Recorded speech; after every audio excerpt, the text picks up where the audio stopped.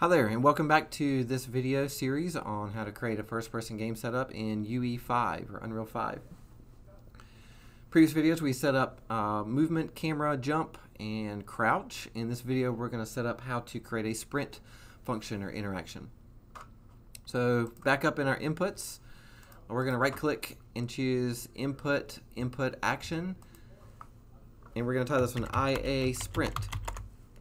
You can look at the previous videos of the setup for the input mapping context and the input actions. So we need input action. We're going to leave the value type as digital bool. And then I'm going to open up my uh, input mapping context. And there's the crouch we previously added. We're going to add a new mapping. We're going to, from the drop down, find our I IA sprint. And then we're going to add our left shift to the keyboard command. So if I click the keyboard icon and tap tap the left shift, our left shift keyboard is assigned to the IA sprint event uh, action. So we save this.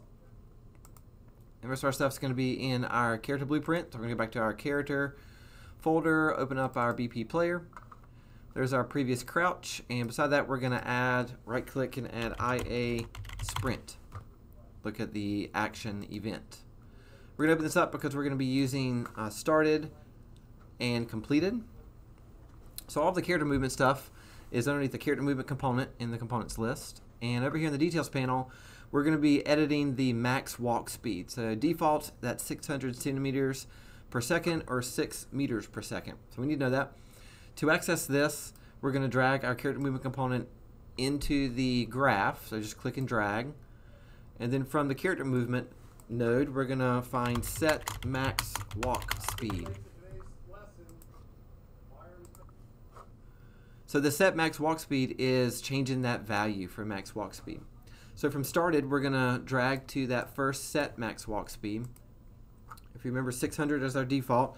So let's double that to make sure we can see that the character is sprinting faster. So 1200 for our max walk speed.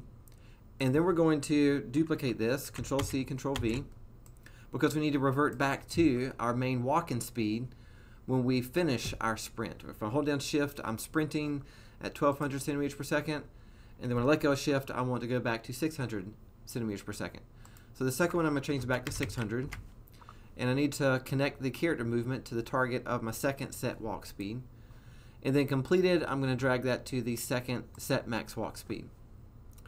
Alright, so that's it. So we can compile and save and go test this out. So hit play. Look at the mountains and then the ground space.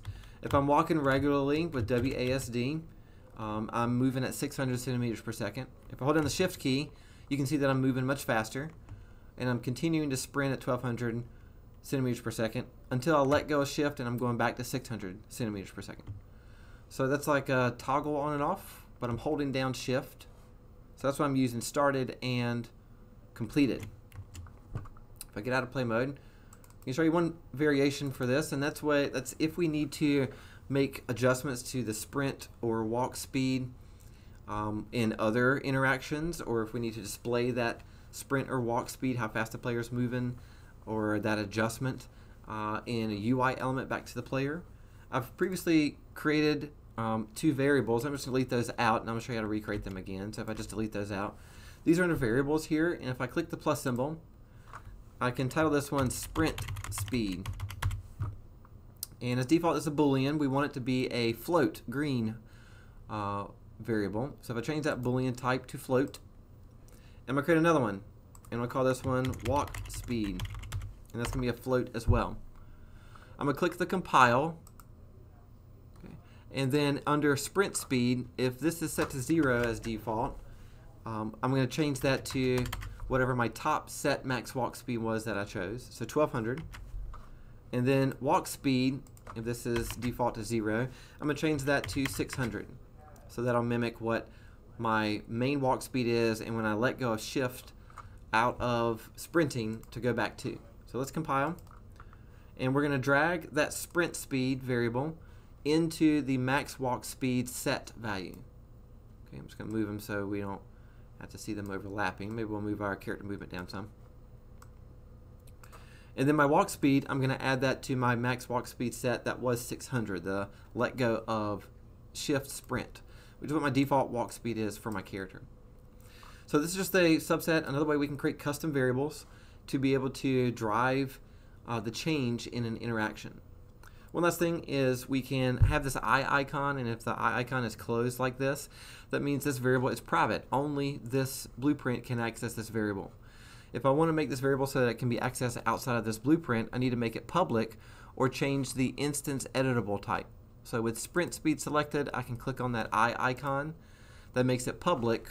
It also is called instance editable. So not that we need to do this for this occasion, but that makes variables so that anything outside of this specific blueprint can access this variable if we need to. So we're going to compile.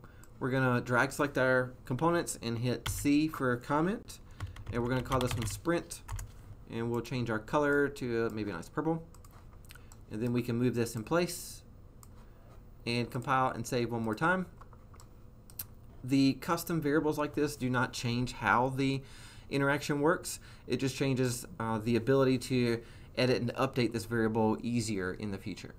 So I'll wrap up this video on how to create a sprint interaction in UE5